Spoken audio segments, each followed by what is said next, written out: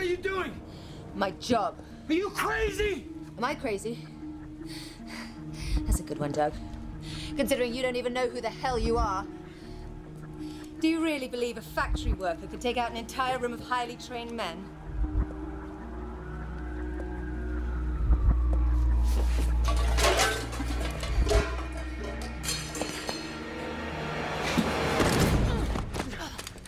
Tell me what is going on. Talk, or we can skip straight to until death do us part. I'm not your wife. That's bullshit. We've been married seven years. I'm UFB police intel, assigned to play your wife. Six weeks ago, I didn't even know you. What are you talking about? It's true.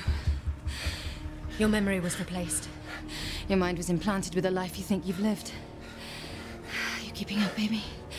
There is no Douglas Quaid. There never was. You're saying I don't. This. Every our marriage. What can I say? I give good wife. Come on. Deep down, did you really believe someone like me would marry someone like you? Live in this shithole. If I'm not me, then who the hell am I? How would I know? I just work here. Speculating. If I had to guess, all the trouble Cohagen's taken to hide you from the Resistance, you must be fairly important.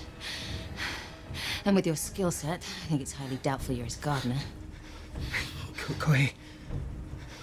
Cohagen's trying to hide me. Why, why are you trying to kill me? Talk! Call it seven-year itch, Doug. Oh, and by the way, you haven't even begun to see me try to kill you.